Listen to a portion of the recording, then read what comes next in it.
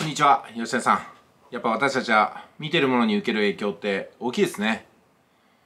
貯金通帳見て残高がバリッとあるとなんかね余裕ある気持ちになったり人に優しくしたくなっちゃったりしますし督促状がいっぱい届くとちょっとねあの郵便のポスト開けるのもめんどくさいなって気になっちゃったりしますしねでプロジェクターもいい画像を見るといい映像を残したくなっちゃったりしますよね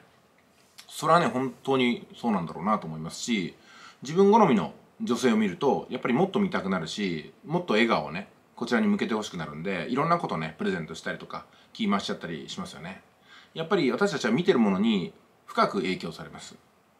でこの億万長者合宿のやり取りに、まあ、限らず私と吉谷さんとの関係っていうのはおそらくですね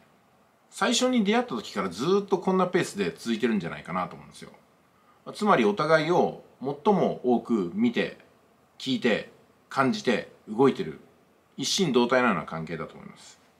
で他の方はね YouTube たくさんやってますけどもうんなかなかそういう関係できないんじゃないかなと思うんですよ。有名 YouTuber さんとのコラボってありますけども、まあ、それはそれでねすごい、えー、私たちには考えられないようなね信頼関係って築けてると思うんですよ。でも私たちは有名 YouTuber ではないですし動画を作るたんびに100万アクセスとかねチャンネル登録100万人とかこれはねできないんですよ。はっきり言ってできないと思ってできることをやるっていうふうに選択してます。シフトしてます。不可能はないからできるんじゃないのって言われればできないことはないと思いますよ。広告を使ってみたりとかね。多くの方にプロモーションで呼びかけてみたりとか。そのノウハウはありますけども私たちはおそらくそうやって数値を走らせることよりも一件一件深く関わることの方が大切だってっていうふうに思ってるんですよね。もちろんたくさんの人にリーチすることも大切ですしそちらの方をね考え方否定するものではないです。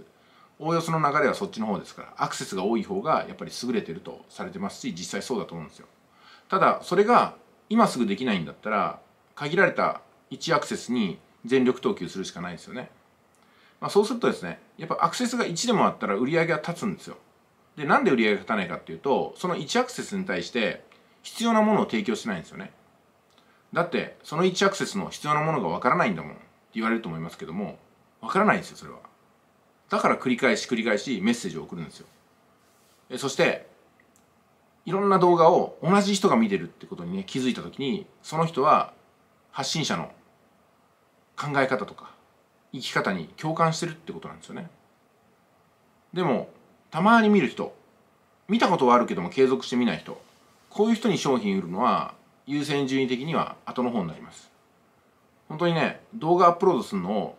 ずっと待っていてくれてアップロードしましたっつったらね再生ボタン即押してくれるようなそんな関係の人が一人でもいれば商品は売れるし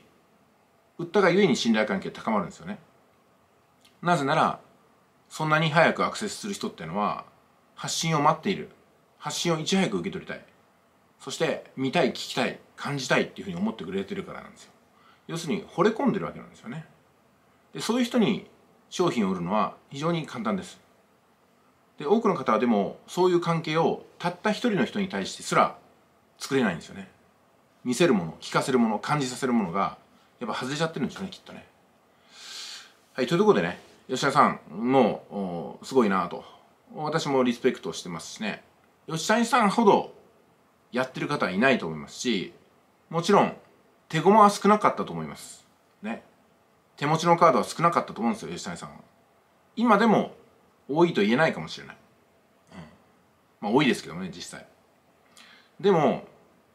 どんなにたくさんのカードを持ってる人でも最初は1枚から始めてるんですよね。例えて言えば限定じゃんけんで1枚しかカードを持ってない状態でこの1枚のじゃんけんに勝ったら1枚付与されるみたいなねそんなゲームをしてるようなもんなんですよ。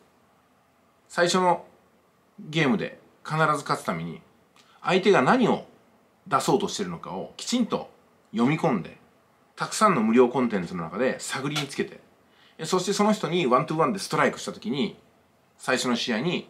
勝った。要するに売り上げを立てたわけですよね。それが鹿児島に行って最初の20万がどうしても必要だった時の勝負だったと思うんですよ。そして最初の勝負で勝つとカードは2枚になります。そうなると2人同時に相手にすることができるんで売り上げが加速するんですよね、まあ、それを繰り返していって今ではグーチョキパーがそれぞれたくさん持っている。そして相手が何を出しているのか出そうとしているのかそれが手に取るように分かる無料コンテンツがたくさんある。そういった形で今は勝負を続けられるんじゃないかなと思うんですよ。どんな時でもセールスをすれば売り上げが立つと。売り上げが立った購入した人に対してのアップセルダウンセルはさらに続けていける。そして買った人はやられた損したと思うかとそうではないと。買ってよかった。自分が商品を買ってお金を預けた。ドリームアカデミア。もっともっと人気になってほしい。そしたら先に買っていた私の格も上がる。そのぐらいまでになってるんじゃないですかね。逆にドリームアカデミアが落ちぶれていったりとか詐欺扱いされたりすると商品をすでにドリアカで買った人はがっかりするのと同時にそんなことないよと。見る目がない人が勝手なこと言ってるだけだよっていうふうに守ってくれるかもしれないですよね。つまりそういうふうな家族みたいな関係ができてるってことなんですよ。さあ信頼関係っていうのはお金で買えるでしょうか？多分お金じゃ買えないと思うんですよ。逆にお金を払って信頼関係を買うんじゃなくてお金を受け取って信頼関係を構築するんじゃないかなと思うんですよ。ビジネスをしている私たちとしては商品が売れれば売れるほど信頼構築が完成したというふうなね確信を積み上げていくことになります。これからもね商品たくさん出すと思います。まあそういった意味で言えばね私の方は信頼構築のための商品販売をしてないと言えるのかもしれないですね。今年に入って速稼地区の注文というのはね極端に減りましたね。まあいいでしょう。ただ投資の商品はおかげさまでよく売れました、うん、だから私もねいつの間にかコンテンツバイヤーから投資家に変わってきたのかもしれないですね、うん、暗号通貨にしろ FX にしろ他の案件にしろ考えてみたらビジネスっていうのも投資みたいなもんで0円同然で始めたビジネスがいくらに最終的に売れるのかいくらの値がつくのかいくらを叩き出すのかそういうことを考えてるんじゃないかなと思うんですよ。私が10万円で始めた広島観光という会社資本金10万円の会社今はとてつもない金額を叩き出してますよね、そう考えたら法人作って最初のね資産。例えば資本金300万で始めました。そのまんま潰れちゃったら300万重荷ですけどもでも1億円10億円をその会社から生み出せれば300万といえどもただ同然っていう形になりますよね。だからそれも結局どんなものを見てどんなものを聞いてどんなものを感じたかそしてそれを自分でどうアウトプットして実践してきたかに本当よるんじゃないかなと思うんですよ。さあじゃあ話をまとめましょう。億万長者合宿が続くということは続けてる人は億万長者にどんどんこれからもなっていくんですよね。でも億万長者合宿のリレーから離脱した人がどうやってお金を稼ぐ根拠があるのかってことになります。もちろん他にもっといいものがあれば億万長者合宿のリレーを離れても仕方がないです。でも離れた結果どこにもたどり着いてないっていうのが本当のことじゃないかなと思うんですよね。えー、というところでね